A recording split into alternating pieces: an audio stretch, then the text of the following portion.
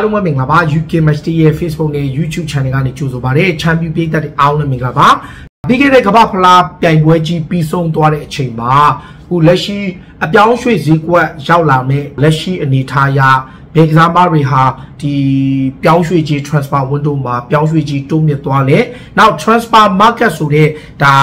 ဒီ website ပေါ့လေဒါက German အခြေစိုက် website ဖြစ်တယ်အဲ့ website ကနေဘောလုံးသမားတွေကိုပြောင်းရွှေ့ခြင်းတွေကိုတောက်လျှောက်သတ်မှတ်ရမှာဘယ်ကစားမကလက်ရှိကဘာရဲ့အမြင့်ဆုံးပြောင်းရွှေ့ခြင်းရတဲ့ကစားမဖြစ်လေဘယ်ကစားမတွေကတော့ပြောင်းရွှေ့ခြင်းမြင်သွားတယ်ဘယ်ကစားမတွေကပြောင်းရွှေ့ခြင်းတိုးသွားတယ်ဆိုတဲ့အကြောင်းလေးတွေကိုအဓိကတင်ဆက်ပေးမှာဖြစ်ပါတယ် ဆိုတော့အခုပြောင်းရွှေ့ဈေးကွက်ကြီးစတဲ့အချိန်မှာအခုတက်သွားတဲ့ကြီးတွေတော်တော်များများကတချို့ကစားမတွေပိုအများကြီး effective ဖြစ်သွားမယ်ဘာလို့လဲဆိုတော့တချို့ကစားမတွေကသက်ဆိုင်ရာ club ကနေအခြားအသင်းအသင်းကိုပြောင်းသွားနိုင်ပွဲရှိလို့တချို့ကစားမတွေကပြောင်းရွှေ့ဖို့လည်းမရှိဘူးဥပမာကမ္ဘာချန်ပီယံဖြစ်သွားတဲ့ Argentina အသင်းကဆိုရင် Ansu Fernandez က Julian Alvarez က Emi Martinez က Alexis Makalasa အပါအဝင်စုစုပေါင်းကစားမ9ယောက်လောက်ရှိတယ်သူတို့အခြေတက်သွားတယ် final တက်ခဲ့တဲ့ပြင်သစ်အသင်းကကစားမတွေလည်းတော်တော်များများတက်တယ်အဲ့ထက်မှာ Kylian Mbappe လည်းပါတယ်ဆိုတော့ကျွန်တော်ပြောချင်တာကလက်ရှိ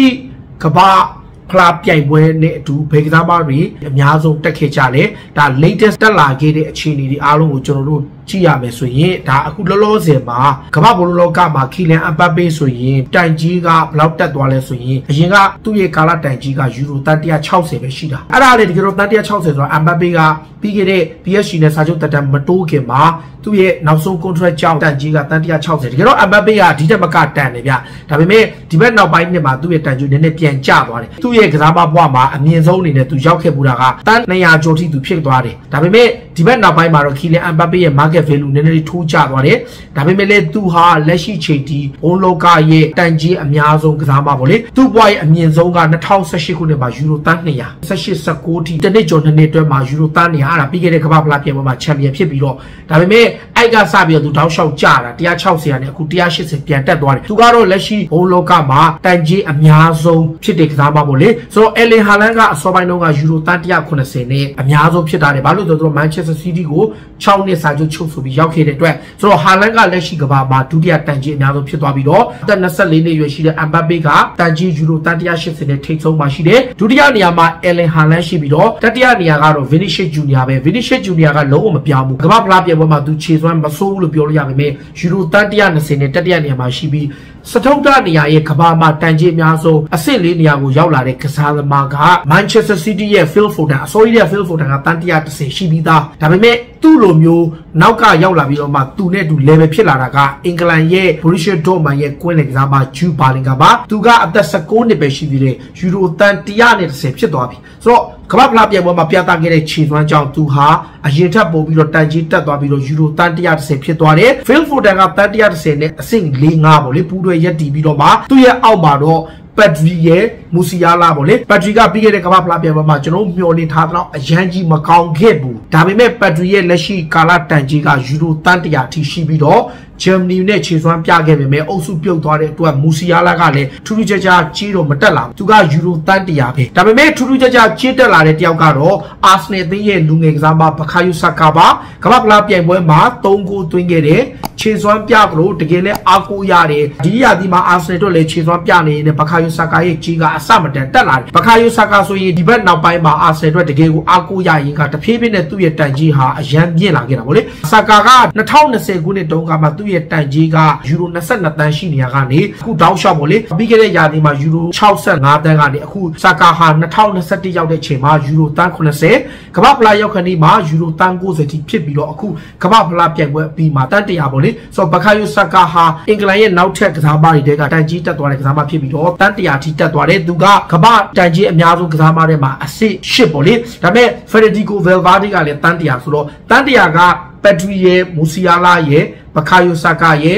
ဗယ်ဗာဒီရဲ့၄ယောက်ဖြစ်တယ်အဲ့ဒါမဲ့ဆာကာကတော့အရင်က90ကနေ10တက်သွားတာဖြစ်တယ်အဲ့ဒီမှာဂျူဘာလင်ကန်နဲ့ဖီလ်ဖိုတန်ကတန်130ဖြစ်ပြီးတော့အင်္ဂလိပ်ကစားမတွေမှာ၃ယောက်ကအများဆုံးပေါ့လေပြီးတော့မှဂါဗီကတန်90ပြီးရင်ရီယယ်မက်ဒရစ်ရဲ့ကွင်းလက်ကစားမရှော်မာနီပေါ့လေဒီကမ္ဘာဖလားပြိုင်ပွဲမှာတကယ်ခြေစွမ်းပြတဲ့ရီယယ်မက်ဒရစ်ကစားမလေးကယူရိုတန်90နဲ့ဈေးတက်လာခဲ့ပြီးတော့ဟာရီကိန်းကတန်90ပဲဆိုတော့ကိန်းကတော့ဒါလက်ရှိအနေထားရအသက်29နှစ်လည်းရှိတော့သူ့ရဲ့တန်ကြီးကထက်တက်စရာအကြောင်းမရှိဘူးဒါပေမဲ့သူကတန်90ရှိတယ်ဒါကတော့တော့လက်ရှိမှာကမ္ဘာအဆင့်1ကနေ10အတွင်းဝင်ပြီးတော့ရှိတဲ့ကစားမတွေပေါ့လေကမ္ဘာအဆင့်1ကနေ10အတွင်းမှာဝင်တဲ့ကစားမပေါ့လေဟာရီကိန်းကတော့29နှစ်သားတွေထဲမှာတန်90နဲ့အများဆုံးရှိတယ် ဒါပေမဲ့တစ်ဖက်မှာကျွန်တော်ပြန်ကြည့်တဲ့အခါမှာလက်ရှိချန်ပီယံပေါ့လေကမ္ဘာချန်ပီယံဖြစ်သွားတဲ့အာဂျင်တီးနားအသင်းကဂိုသမာအယ်မီမာတီနက်ဆိုရင်28တန်းထိတက်သွားတယ်ဒီလိုပဲနောက်ခံလူခရစ်စတန်ရိုမန်ရိုကလည်းယူရိုတန်း60ထိဈေးတက်သွားခဲ့ပြီးတော့မူလီနာက22တန်းနဲ့ဈေးတက်လာတယ်အဲ့ဒီမှာအန်ဆိုဖာနန်ဒက်ဆိုရင်တော်တော်လေးတက်သွားတဲ့ထဲမှာပါပြီးတော့လက်ရှိကမ္ဘာမှာတော့သူ့ကိုပြောင်းရွှေ့ခြင်းယူရိုတန်း120ပါညာနဲ့တောင်းနေပေမဲ့သူ့ရဲ့တန်ကြီးက transfer market value မှာယူရို55တန်းဖြစ်သွားတယ်နောက်အလက်စစ်မခလာဆာကတန်း30ကျော်ကနေအခု42တန်းထိတက်ပြီးတော့ဒါ Rodrigo De Paul ကအသက်28နှစ်ဖြစ်ပေမဲ့သူကလည်းတန်း40ထိတက်သွားတယ်နောက် Julio Alvarez ကတော့တော်တော်လေးတက်တဲ့ထဲမှာပါတယ်တန်း20လောက်တက်သွားပြီးတော့ Julio Alvarez ကတန်း50ဖြစ်သွားတယ်ဆိုတော့ Everest ကလည်းတော်လေးတက်တယ်ဒီနေရာမှာအာဂျင်တီးနာကအသက်35နှစ်အရွယ်ရှိတဲ့လီယိုမက်ဆီကလုံးဝကြီးမပြောင်းတဲ့ကစားမပေါ့လေ35နှစ်ရှိပေမဲ့သူဟာတန်း90နဲ့ သူ့ရဲ့တန်ကြီးကိုဆက်ထိန်ထားနိုင်တဲ့ဖြစ်တယ်အဓိကတော့ကမ္ဘာဖလားပြိုင်ပွဲမှာအကောင်းဆုံးခြေစွမ်းပြခဲ့တဲ့အတွက်သူ့ရဲ့တန်ကြီးဆက်ထိန်ထားနေတာဖြစ်တယ်ပြင်သစ်ဘက်မှာတော့ထေယိုဟန်နန်ဒက်စ်ကဈေးတက်လာပြီးတော့ရှွမ်မာနီကတော့အများဆုံးပေါ့လေတန်း90ဖြစ်တယ်ဒါပြင်သစ်မှာအများဆုံးဖြစ်ပြီးတော့အက်ဒရီယန်ရောဘီယော့စ်ကလည်းအရင်ထက်နည်းနေရကနေအခု25တန်းနဲ့နည်းနည်းပြန်ရတယ်ကီလန်အဘတ်ဘေးကတော့ကျွန်တော်ခုနပြောသလိုပေါ့လေပြင်သစ်လာမကကမ္ဘာမှာအများဆုံးတက်တဲ့သူဖြစ်တန်180ဖြစ်ပြီးတော့ခိုလိုမဝါနီဆိုတဲ့ကစားမပေါ့လေဒါ tournament စနစ်ဝင်လာပြီးတော့မှအာဂျင်တီးနားဘက်ကိုအနိုင်ကိုရအောင်သွင်းလို့နီးပါဖြစ်တဲ့ကစားမကသူက38တန်းဖြစ်ပြီးတော့ Marcus Thuram ပေါ့လေသူရန်ကစာချုပ်6လပဲကျန်တော့တယ်သူက32တန်း Brazil အသင်းမှာဆိုရင်တော့ကစားမတက်တဲ့ထဲမှာ Richarlison 55တန်းတက်လာတယ် Brazil ကတယောက်မှမတက်ပဲနေ Richarlison တယောက်ပဲ Brazil လေရွေးစင်အသင်းမှာတက်လာပြီးတော့ Belgium ကတော့တော်တော်များများထဲမှာအတက်လုံးဝမရှိဘူးအကြတွေကြီးပဲ အဲ့ထက်မှာပေါ်တူဂီအသင်းကလည်းဈေးတက်တဲ့ကစားမတယောက်တော့ရှိတယ်အဲ့ဒါက Gonzalo Ramos ပါသူ့ရဲ့ transfer market ကတန်းဆုံးတယ်ဖြစ်သွားတယ်တကယ်တော့သူကတန်း30လောက်ပဲရှိတာ သူ့ရဲ့တန်ကြီးကတန်း30ဖြစ်သွားတယ်နမေကျော်စူပါစတာခရစ္စတီယာနိုရိုနယ်ဒိုရဲ့လက်ရှိကာလပေါက်ကြီးကယူရိုတန်း30ဖြစ်တယ်ဆိုတော့မက်ဆီကတန်း90မှာဆက်ရှိတယ်ရိုနယ်ဒိုကလည်းတန်း20မှာဆက်ရှိပြီးတော့ဒါကျွန်တော်တို့ဘန်နက်ဒိုဆီလ်ဗာဆိုရင်ယူရိုတန်း80ဒီကြားထဲမှာတော့မန်ချက်စတာယူနိုက်တက်ရဲ့စူပါစတာဘရူနိုဖာနန်ဒက်စ်က85တန်းဖြစ်တယ်ဒါပေမဲ့ပေါ်တူဂီမှာကျွန်တော်တို့သိတဲ့လောက်ကအများဆုံးကရာဖီယယ်လေယိုဖြစ်ပါတယ်ရာဖီယယ်လေယိုကလက်ရှိမှာပေါ်တူဂီရဲ့အများဆုံးကစားမဖြစ်ပြီးတော့သူကလည်း85တန်းထိရှိတယ်ဆိုတော့ ဒါကကမ္ဘာဖလားပြိုင်ပွဲမှာဗောလေကျွန်တော်တို့အင်္ဂလန်အသင်းက benefit အများဆုံးရတဲ့ကစားမအချို့ရှိလို့တစ်ဖက်ကပြင်သစ်အသင်းလည်းရှိတယ်ဒါတစ်ဖက်ကအာဂျင်တီးနားအသင်းကတော့တော်တော်လေးများပြီးတော့ခရိုအေးရှားအသင်းကကစားမအချို့လည်းဈေးတက်သွားတယ်ကိုသမား level ကိုဗစ်အပါဝင်နောက်နောက်ခံလူကဘာဒီလိုဆိုလဲတော်တော်လေးဈေးတက်သွားတာဗောလေဒါက transfer market မှာဈေးအများကြီးပြောင်းသွားတဲ့ကစားမတွေဗောလေဆိုတော့ပြီးခဲ့တဲ့ကမ္ဘာဖလားပြိုင်ပွဲရဲ့ခြေစွမ်းပေါ်မူတည်ပြီးတော့သူတို့ရဲ့ transfer market ကနေအများကြီးတက်သွားတဲ့သူတွေပါ ကမ္ဘာဗလာမှာခြေစွမ်းပြဖို့ရုန်းကန်ရပြီးတော့အုပ်စုထွက်သွားတဲ့ထက်ကနေ Kevin De Bruyne ကသူ့ရဲ့တန်ကြီးက85တန်းကနေတန်း80ကျသွားတယ်ဆိုတော့သူလည်း9တန်းကျသွားတာဗလေဒါကမ္ဘာဗလာကန်ခွင့်မရတဲ့ထဲကမိုဆာလကတန်း90ကနေသူက10တန်းကျပြီးတော့အဓိကတော့အသက်အရွယ်ကြောင့်ကျတာဗလေဆိုတော့သူကတန်း80ဖြစ်သွားတယ် Bruno Fernandes က85တန်းကနေ85တန်းဆိုတော့သူက10တန်းကျသွားပြီးတော့ကျသွားတဲ့ကစားမတွေရှိတယ်ဗျအဲ့ထဲမှာကမ္ဘာဗလာကန်ပြီးတော့အနေငယ်တက်သွားတဲ့ထဲမှာ Gabriel Jesus ပါတယ်အဓိကတော့ Brazil တဲ့ခြေစွမ်းပြတာ track ဒါလက်ရှိ Arsenal နဲ့ခြေစွမ်းပြတဲ့ကြောင့်ဈေးတက်သွားတာဖြစ်တယ်။ဂျောက်ကန်ဆယ်လိုကကမ္ဘာဖလားမှာသူအဲ့လောက်ကြီးမဟုတ်ပေမဲ့သူမန်ချက်စတာစီးတီးရဲ့ခြေစွမ်းကြောင့်သူကတော့80ရှိတယ်။ဆိုတော့ဒါကမ္ဘာဖလားနဲ့ပတ်သက်လို့ပရီးမီယာလိမှာ benefit အဖြစ်ဆုံးကစားမက